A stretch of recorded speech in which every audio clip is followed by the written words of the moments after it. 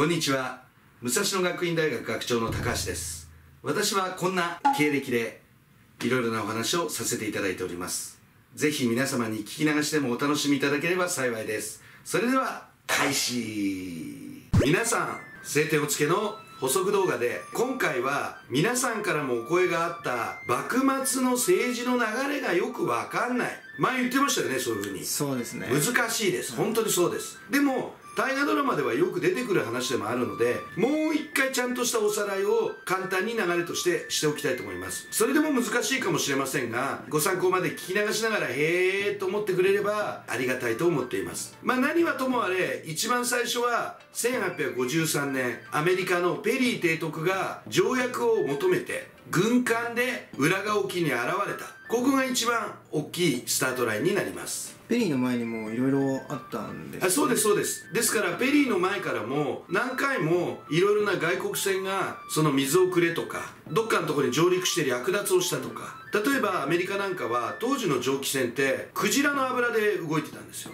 うーん。だからクジラを取ろうとしていろいろ来てたとかいろいろなような経緯もあったんで小栗幸介之助みたいにペリーが来る前から開国論者であった人もいます。とはいえペリーがその来航したことが全てのきっかけとして話がどんどん変わっていくことだけはまあ確かですよね。うん。将軍の跡目争いから幕府は弱まっていったんですうんまあまあまあまあ。っていうかペリー来航と1個だけだったらまあともかくとして江戸幕府自体はやっぱりね将軍の跡目争いでやっぱだんだん割れていくっていうのがパターンなんですよね、つまりこの2つの力があったっていうことをまずご理解いただきたいと思います、で今回もちょうど家定の後にどうするとか家持ちになるとかいうものもありますしその前もありましたしいろいろな将軍をどうしていくっていうことって大事なことなんですがこれが何を言いたいかっていうと将軍が自分でやらなくなっていくとも言えるわけです、だんだんだんだんそういう空気が起きていった。でペリーの時に朝廷の直許を得ようっていうアイデアが出たと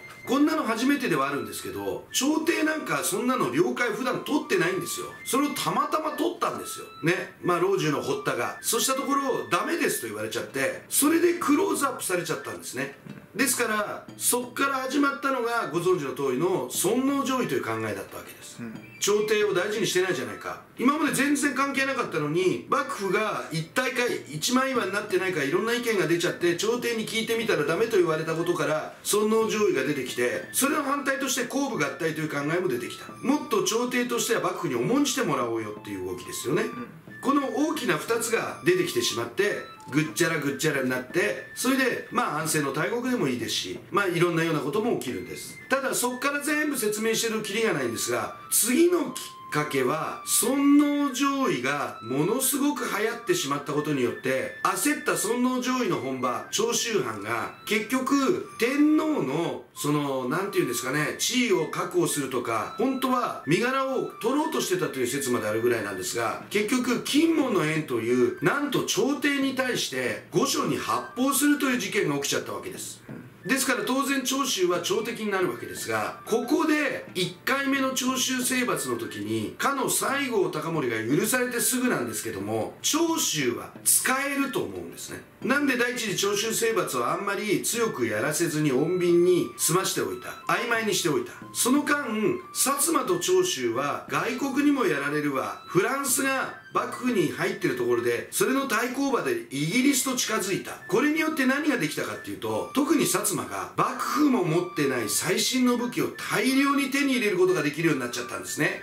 でここでちょうど第二次長州征伐を行う形になるわけです。裏で薩摩は応援してるわ。長州にはその最新鋭の武器はマイテルは高杉晋作とかいろんなヒーローも出てきたとはいえ長州が幕府軍をやっつけ倒すわけです。で新たに将軍になった慶喜は長州征伐を和睦してやめなきゃいけなくなっちゃう。しかももう一つの流れとして今まで朝廷を抑えていた慶喜金利五紙幣総督だったのが将軍になったことで朝廷に入り込む隙間ができちゃったわけですね。つまりこれもまた2つの流れなんです。慶喜が外れた。もう一つは薩摩が長州を使おうとして幕府も持ってない最新鋭の武器をやったことによって長州が成功し始めた。ってことは薩摩は裏で動ける。ということになるわけです。で薩摩がその次に組むのが土佐だったんですね。で薩戸盟約っていうんですけどもこれをやりまして平和裏に政体変革をするために、えー、ふたあの両藩は組みましょうということだったんですけど実は薩摩は慶喜は反対するだろうからそれで倒幕をやろうと思って土佐に声をかけるわけです。ところが晴天をつけでは慶喜が決めたようになってますが大政奉還をアイデアとして出したのは土佐藩士の山内陽道だったんですね。で山内陽道がそういう案を出したことによって慶喜もやりやすくてしかも慶喜は賢いからこれで薩摩や長州は朝廷に対して組んで倒幕っていう形がやりにくいだろうと。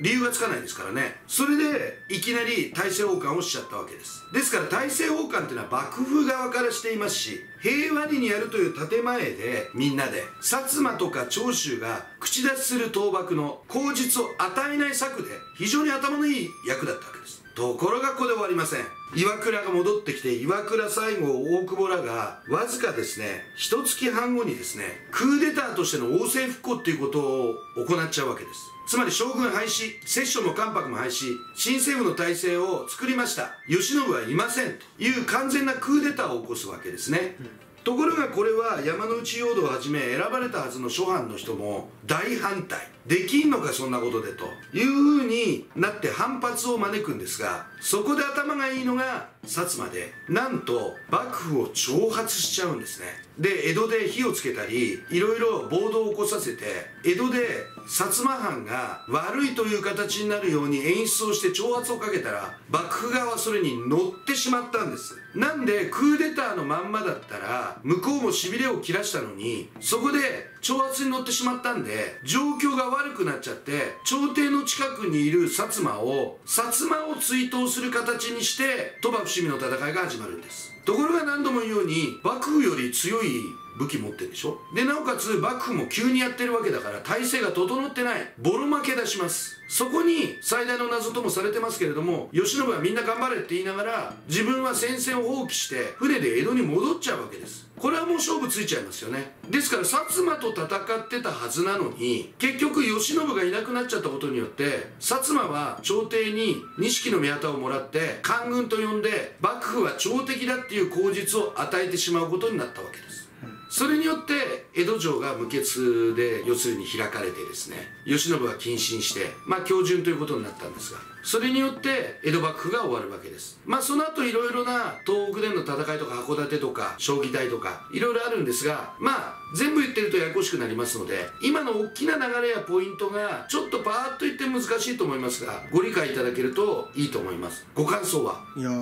そうですね。難しい。難しいですね。ですよね。なんでね？何回も聞いてくれとは言いません。何かで迷った時にまたこの動画を思い出してこんな話してたな。大雑把にはこんな流れなんだな。いうことをご理解いただいた上で大河ドラマやまあまたね幕末やったりする日もあると思いますんでね。何年か後でもこういうものをまた見直していただければありがたいなと思っています。今回は晴天をつけに即しまして幕末の大きな流れを説明させていただきました。それではまた晴天がつけがオリンピックでしばらくなくてもまた楽しい動画をお送りしたいと思っておりますのでこのチャンネルをご愛顧いただければと思います。また別の話でお会いしましょう。それではまた失礼します。